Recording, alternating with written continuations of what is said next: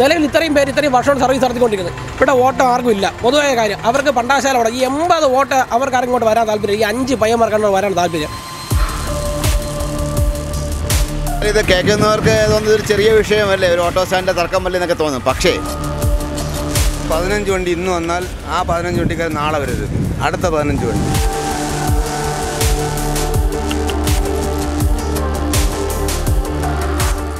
നമസ്കാരം. അധികാരം കയ്യിലിട്ടുന്ന ബോധം അല്ലെങ്കിൽ ഭരണകക്ഷി ഞങ്ങളാണ് ഞങ്ങളോട് ചോദിക്കാൻ ആരുമില്ലെന്നൊരു ധാർഷ്ട്യം.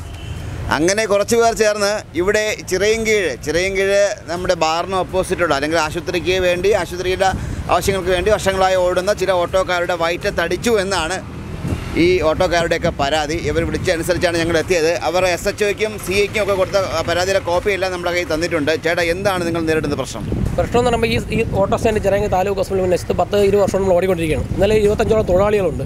ചിറങ്ങി മേൽപ്പാലത്തിന്റെ പണി കാരണം അവർ ബസ് സ്റ്റാൻഡിലുള്ള കുറച്ച് ഓട്ടോ തൊഴിലാളി എൺപത്തിനാല് ഓട്ടോ ബസ് സ്റ്റാൻഡിലുണ്ടെങ്കിൽ അവർ നിലവിൽ എൺപത്തിനാല് പേർക്ക് അഞ്ച് പയ്യന്മാർക്ക് അതായത് ward member Saritha ward member സരിതയിൽ അവിടെയുള്ള അഞ്ച് പയ്യന്മാർക്ക് ഈ വാ ഈ ഓട്ടോ സ്റ്റാൻഡിൽ കിടന്ന് ഓടാനാണ് സി പി എമ്മിന്റെ കോടി ബസ് സ്റ്റാൻഡിൽ നാട്ടിക്കൊണ്ട് ഈ സ്റ്റാൻഡിൽ ഓടാനുള്ള അനുമതി കൊടുത്തു കൊണ്ടുവന്നു. ആ പ്രകാരം നമ്മൾ പോലീസ് പരാതി കൊടുത്തു. കാരണം ബാക്കി അതായത് നിലവിൽ ഇവിടെ ആ പാലത്തിനപ്പുറത്തും ഇപ്പുറത്തും ഒക്കെ പിന്നെ ഓട്ടോ സ്റ്റാൻഡ് ഉണ്ടായിരിക്കെ. ഈ അഞ്ച് പേര് പുതിയ സ്റ്റാൻഡ് തുടങ്ങി. പുതിയ സ്റ്റാൻഡ് പുതിയ സ്റ്റാൻഡ് തുടങ്ങി. അവർ അവിടെ ഓടുന്നുണ്ട്. പണ്ടാശാല ഓടുന്നുണ്ട് ബസ് സ്റ്റാൻഡിൽ ഓടുന്നുണ്ട് എക്സൈസ് ഓഫീസിന് മുന്നിൽ ഓടുന്നുണ്ട്. അതിന് പോരാ നാലാമത്തെ സ്റ്റാൻഡിൽ ചിറങ്ങി അതിന് ഒത്താശ ചിറങ്ങിന്റെ സി ഐ സി ഐക്ക് ഇതിന് മുന്നേ പരാതി പല സി മുകേഷ് സാർ ഇരുന്ന സമയത്തോട്ട് പരാതി കൊടുത്തതാണ്. അദ്ദേഹം ഒരു മാനദണ്ഡം പാലിക്കുക ഇന്നലെ ചിറയെങ്കിൽ പുതിയ വന്ന സി ഐക്ക് പരാതി കൊടുത്തു. ആ കൊടുത്ത പ്രകാരം ഇവിടെയുള്ള ഓട്ടോ തൊഴിലാളികൾ കഴിഞ്ഞ് കുറച്ച് ഒരാഴ്ച കൊണ്ട് വണ്ടി ഓടാതെ. ഈ പരാതിയുടെ പുറകിൽ ഇന്നലെ ചെന്നപ്പോൾ പഞ്ചായത്ത് പ്രസിഡന്റിനെ കണ്ട് പഞ്ചായത്ത് പ്രസിഡന്റ് ന്യായമായ ഒരു തീരുമാനമെടുത്ത് നിലവിൽ നമ്മളെ രണ്ട് വണ്ടിയും അവരുടെ ഒരു വണ്ടിയും എന്നിട്ട് മാനദണ്ഡം പാലിക്കാതെ ചെറാങ്കി സി ഐ അവരെ വശം നിന്നുകൊണ്ട് വണ്ടി ഇങ്ങനെ തന്നെ ഇങ്ങനെ തന്നെ ഓടട്ടെ അല്ലെങ്കിൽ ആരും ഓടണ്ട എന്നുള്ള പ്രവണതയാണ് പറയുന്നത്.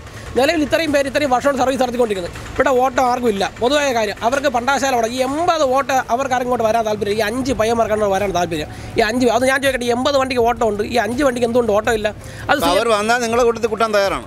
അവർ വന്നാൽ നമ്മൾക്ക് ഒപ്പം ഈ മാനദണ്ഡം പാലിച്ചുകൊണ്ട് പോകാം ഇപ്പോൾ സീനിയാരിറ്റി അവർക്ക് ഒരു സീനിയാരിറ്റി നമ്മൾ രണ്ട് സീനിയർ നമ്മൾ ഇരുപത്തഞ്ച് വർഷത്തോട് സർവീസ് നടത്തുന്നതാണ് നമുക്ക് ആകെ ആശ്രയിച്ച് ഓടുന്നത് ഈ ആ താലൂക്ക് ഹോസ്പിറ്റൽ മുന്നേശത്ത് ഓട്ടമാണ് വലിയടയുണ്ട് അവർ ആർക്കും ഒരു കുഴപ്പമില്ല. വലിയ നൂറ് വണ്ടിക്ക് പുറത്തുണ്ട്. അവർക്ക് ആർക്കും ഒരു വിഷയമില്ല ഇവിടെ ഉള്ള കുറച്ച് പേർക്ക് മാത്രമാണ് ഈ വിഷയം ചെറിയെങ്കിൽ ബസ് സ്റ്റാൻഡിലുള്ള ഓട്ടോക്കാർക്ക് കുറച്ച് പേർക്ക്. അത് Pandakasala ward member Saritha Saritha member വാർഡിന്റെ അടുത്തുള്ള പയ്യന്മാരാണ്. അത് മെമ്പറെ കണ്ട് ആർ സുഭാഷണനെ കണ്ട് സുഭാഷണനാണ് ഈ വാർഡിൽ കൊടി കൊടി ഉയർത്തി എന്ത് തീരുമാനമായി?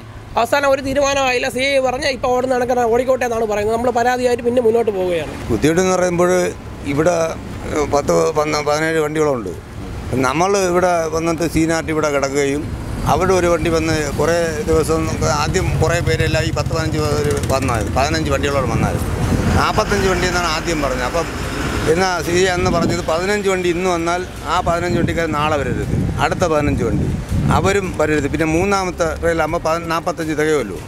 അങ്ങനെ ഓരോ വണ്ടിക്ക് ഓടാനുള്ളത് അപ്പോൾ വന്നിട്ട് ഇപ്പോൾ ബാക്കിയുള്ളവർക്കാകും ഇപ്പോൾ വരാൻ താല്പര്യമില്ല. ഇപ്പം ഇപ്പം ഒരു മൂന്ന് നാലഞ്ച് വണ്ടികളാണ് ഇവിടെ സ്ഥിരമായിട്ട് വരുന്നത്. നമ്മളിവിടെ ഒരു സീനാട്ടി എടുക്കുക അവർ ആശുപത്രി അടുത്ത് വണ്ടി എടുക്കും ഇവിടെ നിന്ന് ഓടി അവിടെ എത്തുന്നതിനിടയ്ക്ക് വെച്ച് രോഗിയൊക്കെ അർജന്റാണ് അത്യാവശ്യമുള്ളതാണല്ലോ ഓട്ടോ ഓടിച്ച് പോകുന്നത്. അവരിവിടെ നിന്ന് കാണുന്ന അടുത്ത വണ്ടി നിങ്ങൾക്ക് ഓട്ടം കുറഞ്ഞു അല്ലേ? ഓട്ടം ഓട്ടം കുറഞ്ഞു. അത് നിങ്ങളുടെ വർഷങ്ങളായിട്ട് നിൽക്കുന്ന സ്ഥലത്ത് പെട്ടെന്ന് എന്റെ പേരിലായിട്ട് വേറെ സ്റ്റാൻഡ് തുടങ്ങുന്നു. ഓട്ടങ്ങളെല്ലാം അവർ പിടിക്കുന്നു. നമുക്ക് അവരെ സ്റ്റാൻഡ് കയറി ഓട്ടോ എടുത്തുവിടാം. ചെറിയ റെയിൽവേ സ്റ്റേഷനിലെ ട്രെയിനിലെ ഓട്ടോ കാര്യങ്ങളൊന്നും നമുക്ക് എടുത്തുവിടാം. അവർക്ക് ഇതെല്ലാം മാനദണ്ഡവും പാലിക്കാം. ഇപ്പോൾ ഇവിടുത്തെ ആശുപത്രി മുക്കിലെ ഓട്ടോ അവർക്ക് എടുക്കാം. പണ്ടാശാലിലെ ഓട്ടോ എടുക്കാം. ഗേറ്റിന് അപ്പുറത്തെ ട്രെയിനിലെ ഓട്ടോ എടുക്കാം. ഗേറ്റിന് ഇപ്പുറത്തെ ഓട്ടോ എടുക്കാം. നമ്മൾ ഈ സ്റ്റാൻഡിൽ നമ്മൾ ആകെ ആശ്രയിച്ച് ഇത്രയും ആശുപത്രി മുക്കിലെ ഓട്ടോ സ്റ്റാൻഡ് മാത്രം അതിവിടെയുള്ള തൊഴിലാളികളെല്ലാം പത്തിരുപത്തഞ്ച് പേരുണ്ട്. അവരെല്ലാവരും ഇത് ആശ്രയിച്ചാണ് പോകണം ബട്ട് നിലവിൽ ഞാൻ ചോദിക്കുന്നത് ചോദിക്കട്ടെ ചേട്ടാ നിങ്ങളിപ്പോൾ ഇതൊരു എനിക്കിത് കേട്ടപ്പോൾ എനിക്ക് നിങ്ങൾ പരാതിയും വായിച്ചു നോക്കിയപ്പോൾ എനിക്ക് തോന്നിയത് ഇതൊരു മര്യാദക്കേടായിട്ട് എനിക്ക് തോന്നി. കാരണം നിലവിലൊരു സ്റ്റാൻഡ് ഉണ്ടായിരിക്കും തൊട്ടപ്പുറത്തുണ്ട് സ്റ്റാൻഡ് തുടങ്ങുകയും നിങ്ങളുടെ പരമ്പരാഗതമായി നിങ്ങളെടുത്തുകൊണ്ടുവന്ന ഓട്ടത്തിന് വേറെ അവകാശം വരികയും ചെയ്യുന്നു. നിങ്ങളെ പൂർണമായിട്ട് ബുദ്ധിമുട്ടിക്കും. എന്നിട്ട് നിങ്ങൾ ഇതിനൊരു പരാതി കൊടുത്തിട്ട് ഈ സ്റ്റേഷനിൽ നിന്നും ഒരു നിങ്ങൾക്ക് അനുകൂലമായ ഒരു സഹായം ലഭിക്കാത്തതിന്റെ കാരണം ഇവരുടെ രാഷ്ട്രീയ സ്വാധീനമാണോ? അത് തന്നെയാണ്. അത് തന്നെയാണ്. പച്ച വളരെ അത് പറഞ്ഞത് അത് തന്നെയാണ്. ആർ സുഭാഷണനാണ് ഇവിടെ കൊടി ഉയർത്തിയത്. അന്നത്തെ പത്ര ഹെഡിങ്ങും സുഭാഷണ്ണൻ കൊടി ഉയർത്തിയ ഫോട്ടോസും കാര്യങ്ങളെല്ലാം നമ്മുടെ കയ്യിലുണ്ട്. കൈവശ പ്രകാരമുണ്ട്. ഇവർ കുറച്ച് വിഷയങ്ങളും കാര്യങ്ങളും ഇടപെട്ടാണ്ട് ഇവർ സി പി ഐയിലോട്ട് പോയി. സി പി ഐയിൽ പോയ ശേഷം തൊട്ടാണ് ഈ വിഷയങ്ങൾ ഈ സ്റ്റാൻഡ് നടന്നു തുടങ്ങിയത്. പക്ഷേ പറഞ്ഞ ഈ സ്റ്റാൻഡിൽ ബി എം എസ് ഉണ്ട് ഐ എൻ ടി സി ഉണ്ട് പിന്നെ C P I C P I ഉണ്ട് പി എം എസ് ഉണ്ട്. സി പി ഐ ഇപ്പൊ ഈ അവിടെ അവിടെ പുതിയ സ്റ്റാൻഡ് തുടങ്ങി ആരാണ്? ഏത് പാർട്ടിയാണ്? സി പി എം ആണ്. C P M C P M ആണ്. C P I C P M ഒക്കെ ഒന്നല്ല? ഒന്ന് തന്നെയാണ് ഒന്ന് തന്നെയാണ്. പക്ഷേ സി പി എം പറഞ്ഞൊക്കെ നടക്കുള്ളൂ. സി പി എമ്മും സി പി ഐ എല്ലാം ഒന്ന് തന്നെ. ഇപ്പോൾ ഈ ഒരു വിഷയം സംബന്ധിച്ച് സ്റ്റേഷനിലെ സി ഐയുടെ മൊഴി എടുത്ത് നോക്കുക. സി ഐ ഇത് സംബന്ധിച്ച് എത്ര ദിവസം നമ്മൾ സ്റ്റേഷനിൽ കയറി ഇറങ്ങുന്നുണ്ട് പഞ്ചായത്ത് നടപടി എടുക്കട്ടെന്ന് പഞ്ചായത്ത് തന്നെ പഞ്ചായത്ത് പ്രസിഡന്റ് മാന്യമായ രീതിയിൽ മറുപടി പറഞ്ഞ് നമ്മളെ രണ്ട് വണ്ടി ഇത്രയും നാൾ അവർ വെലാക്കര സി ഐ നമ്മളെ വെച്ചാൽ വിളിച്ചത്. അവർ വെലാക്കരായിട്ട് വന്ന് കയറിയതാണ്. അവർക്ക് ഒരു വണ്ടിയും നമുക്ക് രണ്ട് വണ്ടിയും ഇട്ട് ഓടാനുള്ള അനുമതി കൊടുക്കണമെന്ന് സി ഐ ഇന്നലെ വിളിച്ച് പറഞ്ഞതാണ് ഇവിടുത്തെ പഞ്ചായത്ത് പ്രസിഡന്റ്. എന്നിട്ട് പോലും അതിനൊരു നടപടിക്രമം ഉണ്ടായില്ല. നമ്മൾ പഞ്ചായത്തിന്റെ തീരുമാനം നടപ്പിലാക്കട്ടെ സി ഐ. സി ഐ എന്തിനാണ് നടപ്പിലാക്കാതിരിക്കുന്നത്? പഞ്ചായത്ത് ഭരിക്കുന്നത് പഞ്ചായത്ത് ഭരിക്കുക സി പി എം ആണ്. പക്ഷേ സി പി എമ്മിൽ ആ അവരാണെങ്കിലും അദ്ദേഹം പഞ്ചായത്ത് പ്രസിഡന്റ് നല്ലൊരു തീരുമാനമാണ് എടുത്തത്. കാരണം അവർ ഒരു വണ്ടി ഇട്ടോട്ടെ നമ്മൾ രണ്ട് വണ്ടി ഇട്ടോളം പറഞ്ഞു. അത് നമ്മൾ യോജിക്കുന്നുണ്ട്. അത് എന്തുകൊണ്ട് സി ഐ നടപ്പിലാക്കുന്നില്ലെന്നാണ് നമ്മൾ ചോദിക്കുന്നത് ഏതായാലും ഇത് കേൾക്കുന്നവർക്ക് ഇതൊന്നും ഒരു ചെറിയ വിഷയമല്ലേ? ഒരു ഓട്ടോ സ്റ്റാൻഡിന്റെ തർക്കമല്ലേ എന്നൊക്കെ തോന്നും പക്ഷേ ഓട്ടോ സ്റ്റാൻഡിന്റെ തർക്കം തന്നെയാണ്. മറ്റൊരു കൂട്ടർ വന്ന് അടുത്തൊരു കൊടി സ്ഥാപിച്ച് അവിടെ ഈ സ്റ്റാൻഡ് തുടങ്ങിയത് തന്നെയാണ് പ്രശ്നം. ചെറിയ പ്രശ്നം തന്നെയാണ്. പക്ഷേ ഇതൊരു ചെറുതായിട്ട് കണ്ട് തള്ളിക്കളയാൻ കഴിയില്ല. കാരണം ഇവിടെ അവർ ഉപയോഗിച്ചിരിക്കുന്നത് അധികാരമാണ്. അധികാരവും നമ്മൾ നമ്മുടെ ഭരണം നമ്മുടെ കയ്യിലാണെന്നുള്ളൊരു ഹുങ്കും. ആ ഒരു ഹുങ്ങിന്റെയും പുറത്താണ് ഈ ഒരു പോലീസ് സ്റ്റേഷന് പോലും ഈ പ്രശ്നത്തിൽ ഇടപെടാൻ കഴിയാതിരിക്കുന്നത്. ഇങ്ങനെ അധികാരം കൊണ്ട് മറ്റുള്ള ഇടനാഴിലേക്ക് പിന്നെ കടന്നു കയറുന്നവരൊക്കെയാണ് നാടിനാപത്ത് ഇതൊരു ചെറിയ സംഭവമായിരിക്കാം. ഇതേപോലെ വലിയ വലിയ ഒരുപാട് സംഭവങ്ങൾ നമുക്ക് ചുറ്റും നടക്കുന്നുണ്ട്. വിസ്മയനുസ് വേണ്ടി ക്യാമറമാൻ ജെ പിക്കൊപ്പം ശ്രീത് മാരാർ സൈനിങ് ഓഫ്